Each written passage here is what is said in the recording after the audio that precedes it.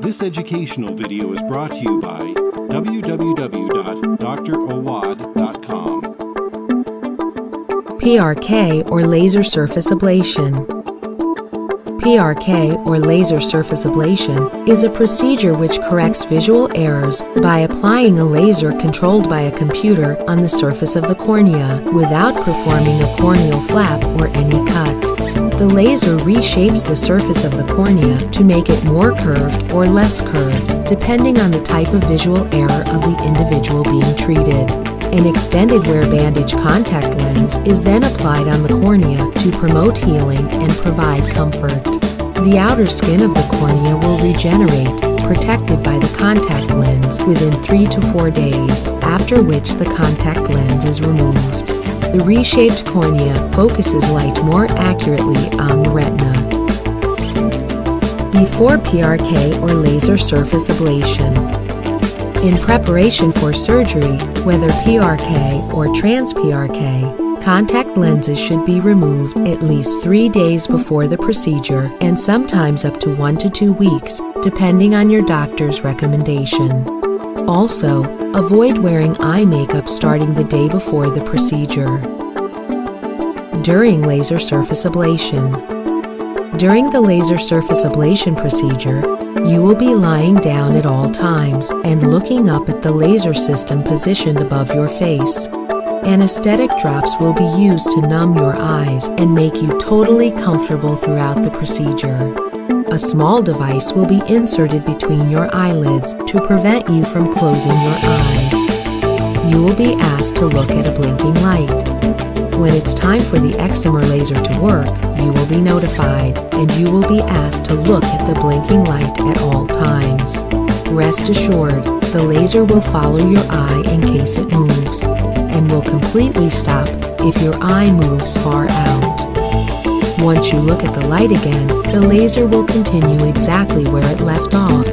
Looking at the light, however, will ensure uninterrupted, smoother treatment. The whole procedure will take around 5 minutes per eye. After laser surface ablation. After laser surface ablation, you will experience blurry vision as well as episodic light sensitivity, burning, and tearing for up to three days. You should be able to drive and resume active computer work within five to seven days. However, near and far vision will be much more comfortable after two weeks of the procedure. Vision will keep improving with time, and it reaches its peak between two to four months on average. Visual fluctuations are not uncommon for the first few weeks and even months sometimes, especially when staring, reading, or working on computers. Visual fluctuations keep improving with time, especially with frequent lubrication. After surgery, you will be using antibiotics and steroid anti inflammatory drops four times a day each, and lubricating drops every hour, at least for the first week, and then every few hours and as needed.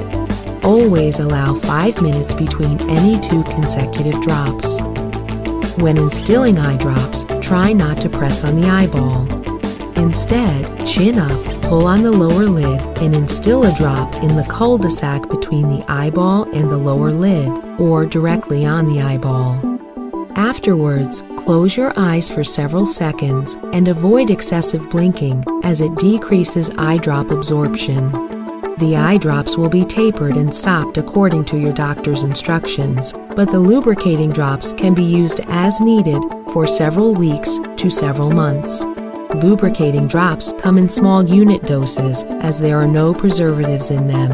You can recap them and reuse them several times as long as you throw them the same day.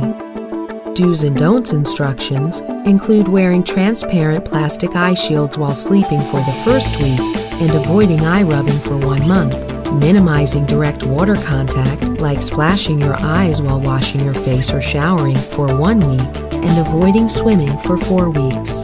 Additionally, no eye makeup should be applied till after three weeks.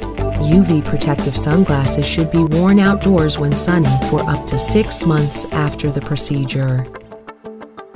Find more educational videos and patient information material at www.drawwad.com.